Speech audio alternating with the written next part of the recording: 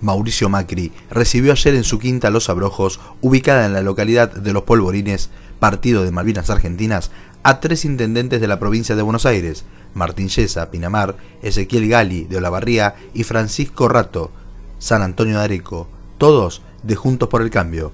El primer dato saliente del encuentro fue que el expresidente incumplió las prerrogativas impuestas por el gobierno nacional para quienes cumplen con la cuarentena obligatoria y que establece que aquellas personas que vengan desde el exterior deben mantener aislamiento domiciliario durante 14 días desde el ingreso al país y que, si durante los días de aislamiento son enviados a su domicilio, no deberán recibir visitas hasta no tener el alta.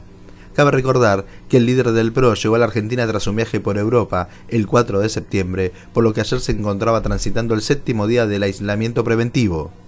Consultado al respecto, Yesa, que ya tuvo coronavirus, indicó que no sabía que a Macri le quedaban días de aislamiento por su viaje a Europa, pero igual estuvimos al aire libre, con bastante distancia, y nunca ingresamos al interior de la propiedad.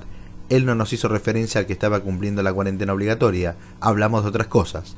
Me invitaron hace unos días y para mí fue un honor enorme. Fue una muy buena reunión. Macri quería escucharnos para ver cómo estaba la situación y nos contó de sus reuniones con Emmanuel Macron, presidente de Francia, y Angela Merkel, canciller de Alemania. Contó el jefe comunal de Pinamar. Yesa también reveló que con Macri hablamos de cómo encaramos el desafío de Juntos por el Cambio como oposición y afirmó que a Mauricio le preocupó mucho las imágenes de los patrulleros rodeando la Quinta de Olivos. Fue muy claro al decir que eso no corresponde. Más allá del malestar que genera la discusión por la coparticipación, el jefe comunal de Pinamar apuesta que en breve la relación entre el los gobernantes de Juntos por el Cambio retome su carril normal. Hay mucha gente que no quiere que dialoguemos y consensuemos, y hay otros que estamos convencidos de que hay que dialogar y consensuar hasta que incomode.